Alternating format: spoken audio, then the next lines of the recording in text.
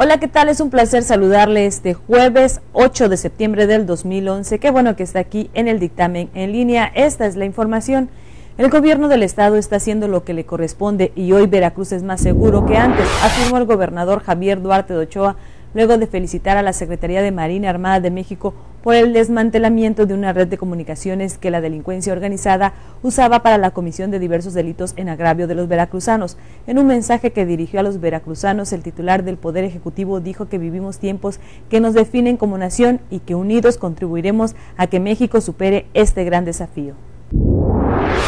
El presidente de la Coparmex en Veracruz, Luis Alberto Martín Capistrán, dijo que es momento de dejar atrás el tema de la violencia y la inseguridad y resaltar que el estado de Veracruz es un destino propio para invertir y visitar. Expresó, tenemos que hablar y actuar bien en el tema de Veracruz.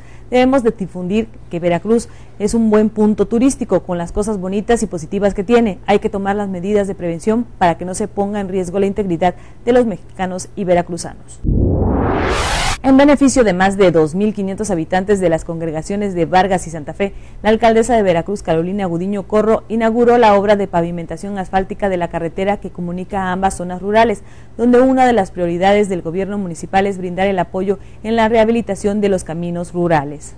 Ahora en 10 minutos pueden llegar de un punto a otro y bueno, esto ahorra tiempo, dinero, esfuerzo, porque por esta vía además eh, pasan vehículos de peso, de carga, que trasladan también, bueno, los animales y los productos derivados del rastro que se encuentra aquí en la comunidad que da pues un beneficio muy importante de empleo a muchas familias. El director de Obras Públicas del Ayuntamiento de Veracruz, Enrique Baños, afirmó que el Ayuntamiento de Veracruz tiene contemplado una serie de obras en la zona rural que incluyen guarniciones, banquetas, incluso construcción y rehabilitación de escuelas. Bueno, desde el inicio de, se programó el programa de obras eh, se tenía contemplado a la zona rural, eh, lo que fue en este caso Santa Fe, Vargas, eh, Santa Rita y San Julián.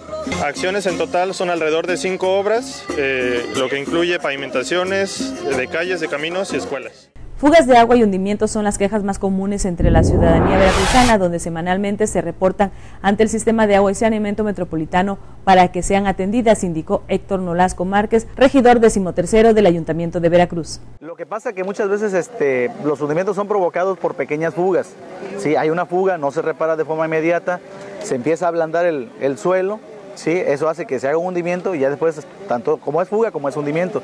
Pero si abatimos las fugas como se está haciendo, porque ahora todas las, fugas que se reportan a, la regiduría, de forma inmediata las reportamos al SAS y en menos de 72 horas las reparan. Con la finalidad de que las escuelas de Boca del Río adopten una cultura de la prevención y autocuidado, mañana viernes el alcalde Salvador Mansur Díaz arrancará con un programa denominado Educar para Prevenir Riesgos, donde los supervisores y directores de los planteles educativos serán capacitados por personal de del Departamento de Protección Civil, dijo el director de Educación Municipal Carlos Rodríguez Pitalúa. En apoyo a las mujeres veracruzanas se impulsan talleres de capacitación en proyectos productivos a través del DIF municipal con el objetivo de que obtengan beneficios a la economía del hogar, expresó Víctor Hugo Vázquez Bretón, presidente del patronato del DIF de Veracruz. Estamos generando los canales para conectar, en este caso a los que están elaborando bolsas de de cosas más de lirio acuático para que ellos tengan este, enlace con empresarios, que incluso hay mucho interés en ese tipo de material. Ya se han acercado empresarios para pedir, hacer pedidos de esos materiales de bolsa. La Secretaría de Protección Civil informa que la presencia de la tormenta tropical mantendrá el tiempo inestable con potencial para lluvias y tormentas eléctricas aisladas en el centro y sur del estado. Se espera poco cambio en la temperatura y que precisa el viento del norte fresco con rachas fuertes en la zona costera, sin descartar también sobre regiones de montaña. Se recomienda a la población extremar precauciones. Se espera que Ney siga fortaleciéndose en los próximos días, pudiendo alcanzar la categoría de huracán la medianoche del sábado y posteriormente acercarse a las costas del sur de Tamaulipas hacia la noche del lunes. En información nacional, el presidente Felipe Calderón Hinojosa contestó al Poder Judicial y llamó a no caer en un falso debate, porque dijo, la impunidad es lo que verdaderamente daña la estabilidad y la seguridad del país.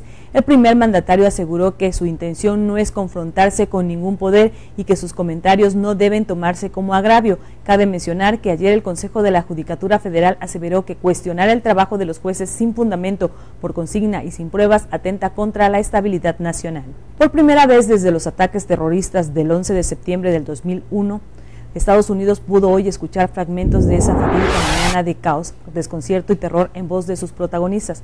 Tras una intensa labor de recopilación realizada por la Roger Law Review, se pudo escuchar las grabaciones con un compendio de las comunicaciones mantenidas entre los controladores aéreos de la ciudad de Nueva York con autoridades militares y civiles que aquella mañana del 11 de septiembre fueron sorprendidos con el ataque a las Torres Gemelas. La OCDE advirtió este jueves que la poca creación de empleo y la elevada tasa de paro de larga duración en algunos países corren el riesgo de enquistarse y se pronunció en favor de reformas estructurales del mercado de trabajo para evitar que esas situaciones se prolonguen en el tiempo.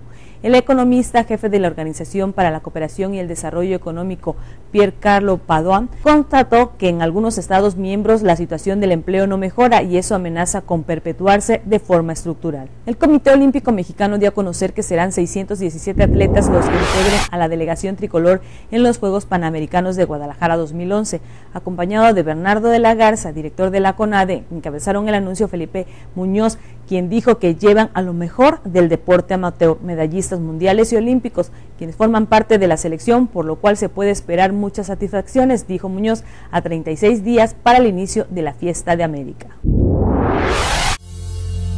Ya me contaron que eres un lobo que anda en busca de placeres, que eres todo un don Juan con las mujeres, que coleccionas ilusiones y que rompes corazones a granel.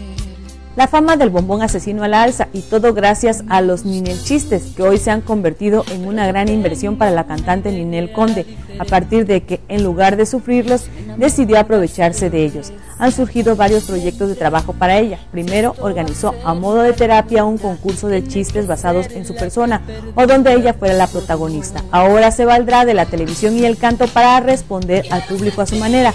En el programa La vida es mejor cantando contestará a quienes se han burlado de ella. Y mire usted, México ocupa el tercer lugar en la cantidad de ciberdelitos cometidos contra adultos, de acuerdo con un estudio hecho a 24 países por Symantec, fabricante de los programas antivirus Norton.